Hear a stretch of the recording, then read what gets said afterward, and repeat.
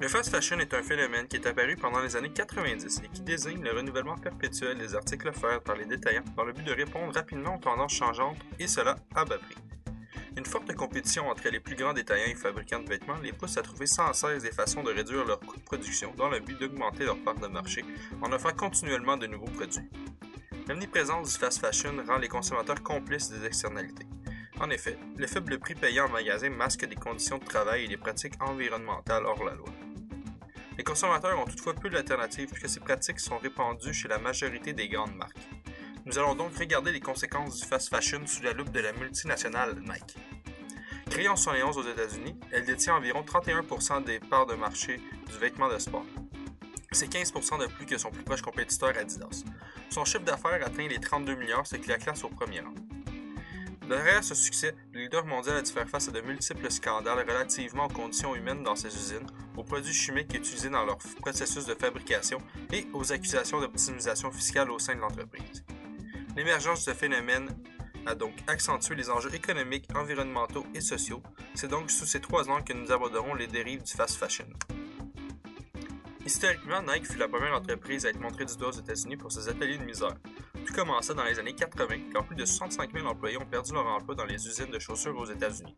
Nike s'est mis à sous-traiter sa production à des manufacturiers indépendants des pays où la main-d'œuvre était payée aussi peu que 14 sous de l'heure, principalement l'Indonésie, la Chine, le Bangladesh, le Pakistan et le Vietnam. Par contre, cet enjeu n'a réellement vu le jour qu'en 92, quand l'activiste Jeff Ballinger a publiquement dénoncé Nike des abus dans leur usine.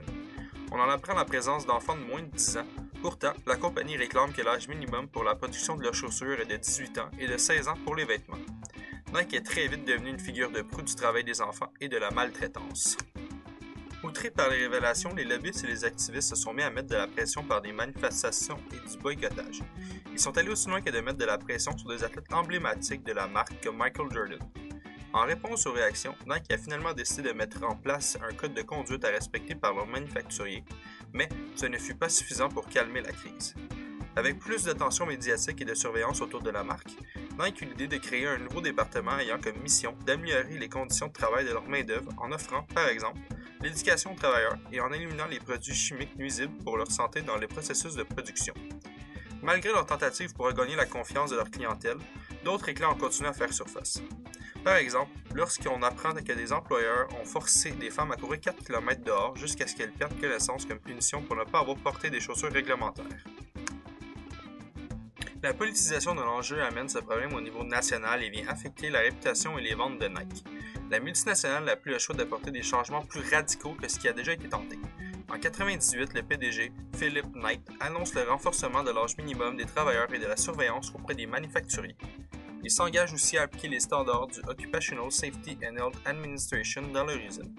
L'année suivante, il crée un groupe à but non lucratif nommé The Fair Labor Association qui a pour mission d'améliorer les conditions de travail de leur main-d'œuvre et encourager les autres entreprises à faire de même.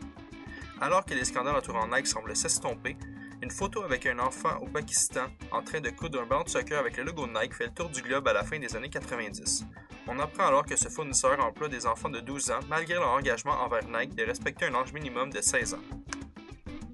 Pour calmer la crise, l'entreprise a décidé de mener autour de 300 audits par année dans leur usine pour s'assurer qu'aucune infraction n'ait lieu. En 2005, Nike devient la première entreprise de l'industrie à publier la liste complète de tous leurs fournisseurs.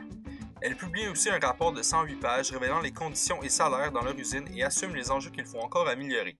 Dans ces rapports, on y apprend malgré tout que l'accès aux toilettes et à l'eau est limité dans 25 à 50% de leur usine. Le même pourcentage d'usines refuse d'accorder une journée de congé par semaine aux travailleurs et plus de la moitié oblige les employés à travailler plus de 60 heures par semaine.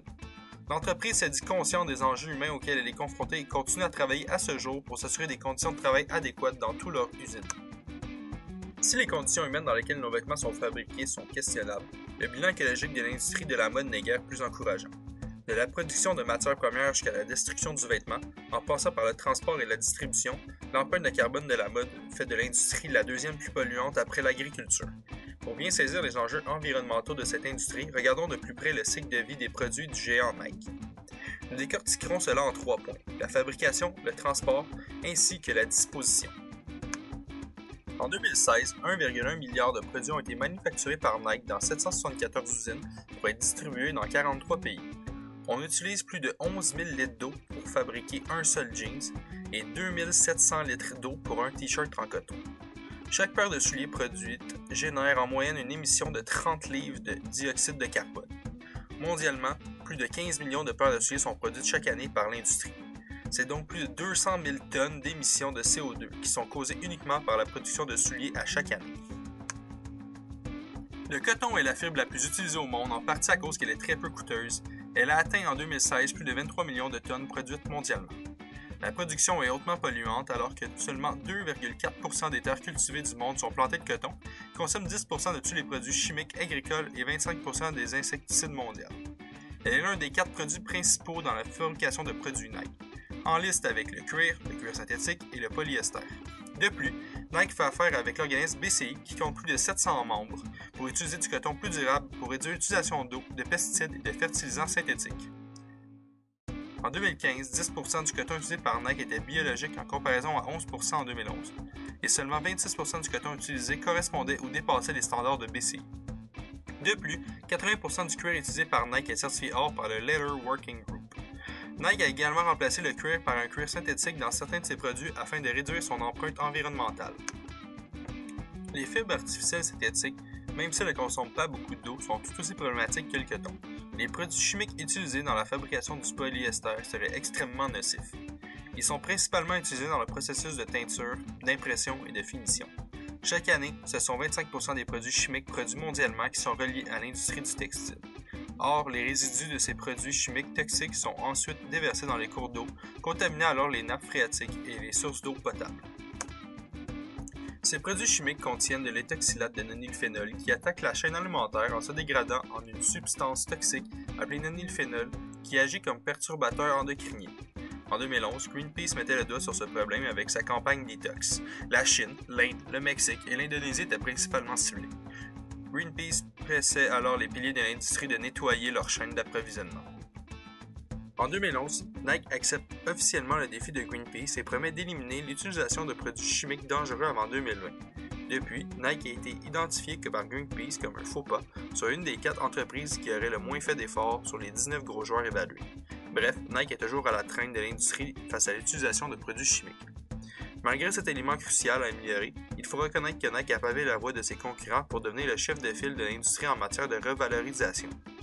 Ce dernier rapport de développement durable nous apprend également que 17% du polyester utilisé est recyclé et que celui-ci se retrouve dans 37% des produits en comparaison à 27% en 2011. La technologie 3D est également au cœur de ses travaux de recherche et développement. Nike possède 17 centres de distribution, fait affaire avec 774 usines et bénéficie de 110 000 points de vente à travers le monde. Entre le rapport de développement durable de 2013 et de 2015, Nike affirme avoir augmenté de 11% le nombre d'unités transportées dans sa chaîne d'approvisionnement mondiale pour environ 1 milliard d'unités transportées. En comparaison, les ventes ont augmenté de près de 21% durant cette période. Les vêtements continuent d'avoir un impact sur l'environnement après l'achat. En effet, le lavage et l'élimination du vêtement lorsque vous en avez fini peuvent causer plus de dommages à la planète que vous le pensez. Il est important de mentionner que certaines fibres synthétiques continuent d'être polluantes même après l'usage. En effet, les NPE dont nous parlions plus tôt sont reconnus comme étant des polluants persistants qui génèrent des résidus lors de lavage de vêtements et continuent d'être nocifs lors de la disposition, parce que les substances chimiques peuvent s'infiltrer dans les sols et les nappes phréatiques. Le recyclage des vêtements est aussi important que tous les autres types de recyclage plus traditionnels. Nous accordons un bilan mitigé à la multinationale. Elle est bien fait des points améliorés, mais elle se fixe des objectifs ambitieux. Par exemple, d'ici 2025, Nike a pour objectif que toutes ses bâtisses et ses lieux d'opération utilisent des énergies à 100% renouvelables. En collaboration avec d'autres grandes entreprises, Nike a également mis sur pied le Material Sustainability Index qui donne de l'information sur plus de 57 000 matériaux, leur composition et leur traçabilité. Ils ont d'ailleurs créé une application qui aide les designers à faire des choix plus responsables pour la création de leurs vêtements. En ce qui a trait à l'enjeu économique, Nike, comme de nombreuses multinationales, utilise le stratagème de l'optimisation fiscale.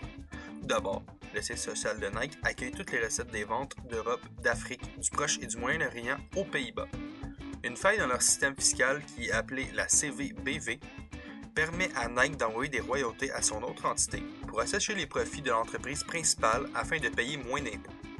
Théoriquement, Nike devrait se retrouver à payer ses taxes sur les royautés aux États-Unis. ben, les États-Unis réclament que celles-ci doivent être payées aux Pays-Bas, qui eux renvoient la balle aux Américains.